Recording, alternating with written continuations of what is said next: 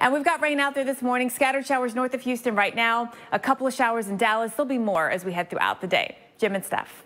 Well, of course, communication is still an issue uh, mm -hmm. where Big Hurricane time. Michael came ashore there. Gizmos and gadgets make our world go round until a hurricane comes along. And when that happens, we really turn back the clock. No cell phones, no internet, no electricity, no cold water even. Uh, we know that firsthand. And the ability to communicate creates a lot of frustration after a hurricane, trust me. New technology, though, is trying to help Dave Malkoff now from Mexico, New Mexico Beach, Hurricane Michael's ground zero in Florida.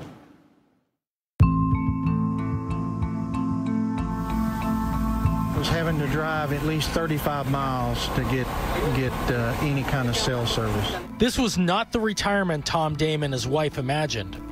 The downstairs uh, totally wiped out as far as uh, uh, the water damage, the surge went through.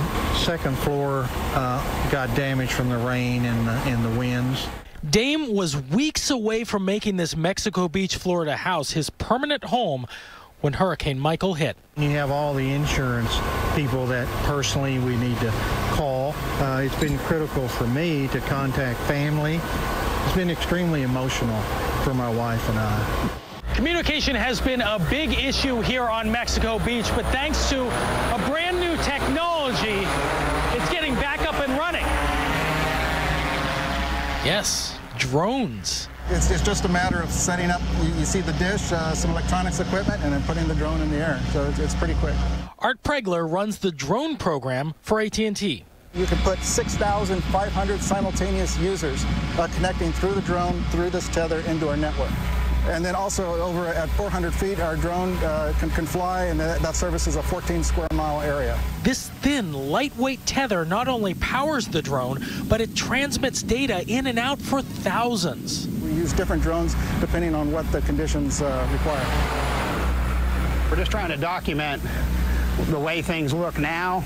Um, and most of the places that we go, there's previous Google imagery so people can go back and you can do a timeline and, and you can see a before and after. Using the newest high-resolution camera and street-level mapping, Mike Vorse is helping people get a Google Street View of the devastation, all in a 24-hour turnaround. Initially, it's going to be residents who haven't been able to make it back, people who vacation here throughout their lives, you know, who have a you know a connection with the place. But for Tom Dame and his neighbors who were able to get back into their homes, this technology is no longer a luxury. It's a downright necessity. Today has been the first day that I haven't had to travel out uh, to get cell service. In Mexico Beach, Florida, Dave Malkoff, The Weather Channel.